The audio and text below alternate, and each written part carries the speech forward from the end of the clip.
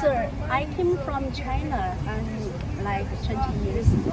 So I wasn't born in this country, but I have learned the history and I give you great honor. So I would like to give you a hug if you and for say thank you so much for this.